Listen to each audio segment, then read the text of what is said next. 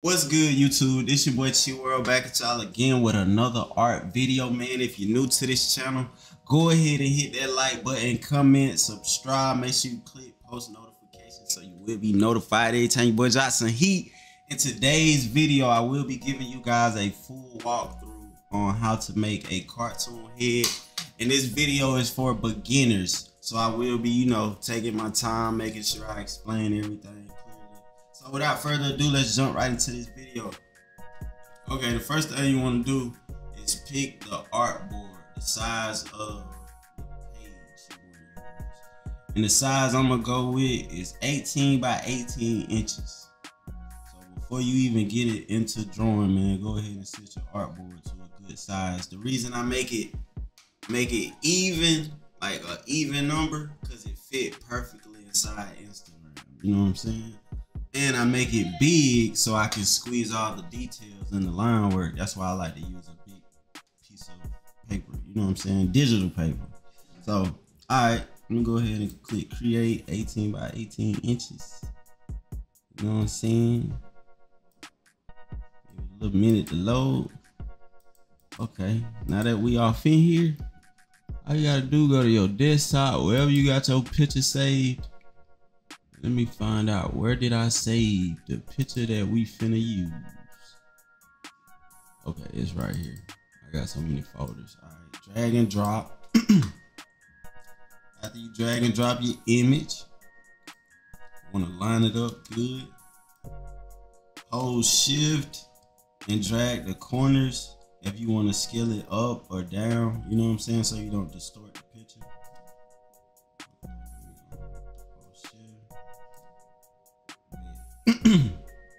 To the opacity. Let's bring this opacity down. Make my opacity 75.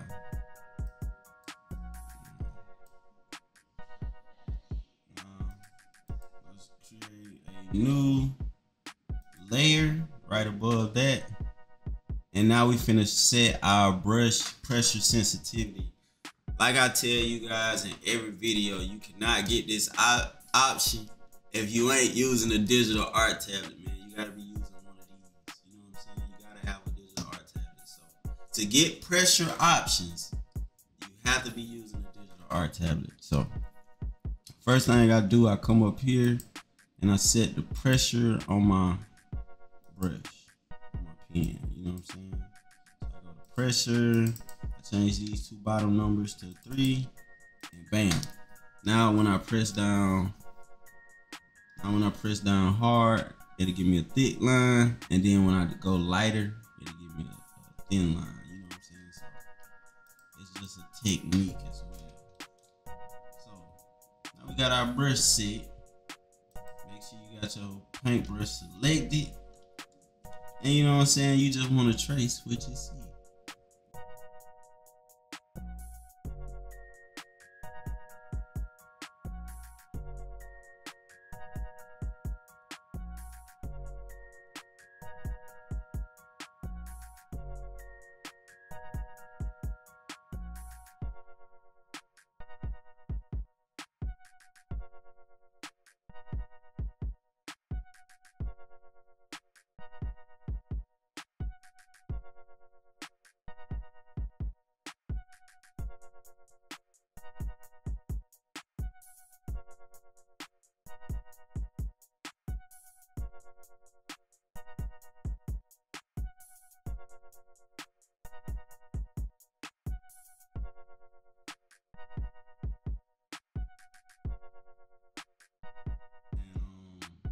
Go ahead and go to our uh, pencil tool.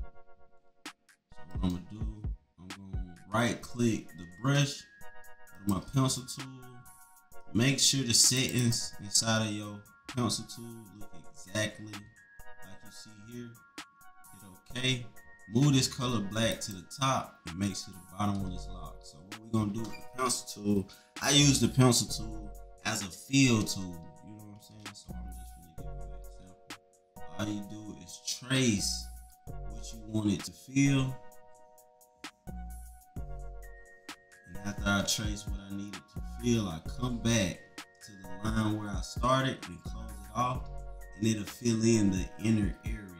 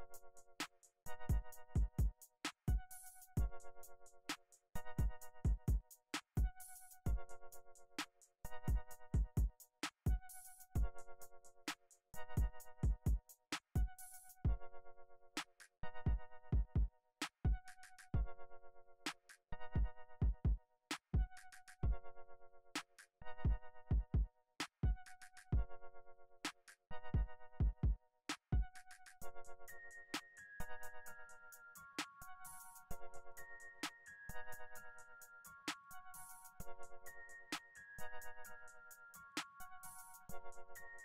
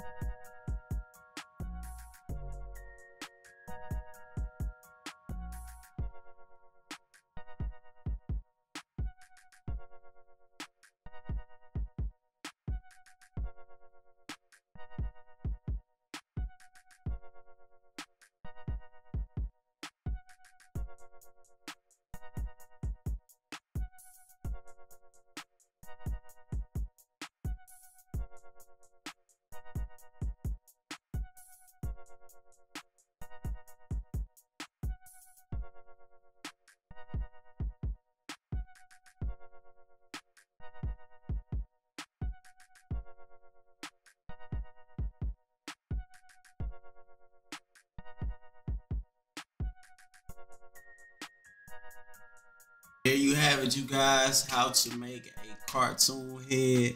Make sure you leave a like, leave a comment in the comment section below. Make sure you stay tuned because more heat coming soon.